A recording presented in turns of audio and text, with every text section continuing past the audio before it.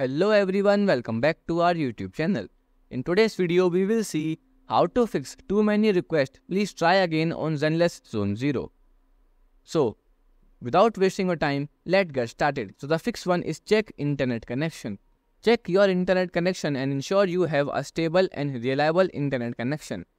Try restarting your router or modem to see if that resolves the issue.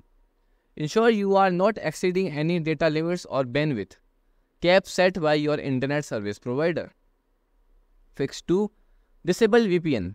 On Android, go to settings, then network and then VPN and here you will simple click toggle the VPN connection off.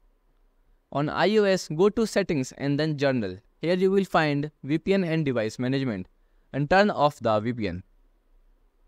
On Windows, go to settings and then network, internet and VPN and here select the VPN connection and click disconnect. Fix 3. Wait and try again later. If the issue persists, this is possible the Zenless Zone Zero server are experiencing high traffic or temporary issue. Wait a, a while and try logging in again later. Or you can simple click check the official channel for any updates for information about the issue. So the link in the description. Here you can simple move to the official Twitter handle of the Zenless Zone Zero. Here you will find the latest updates and all the bug and fixes. Okay.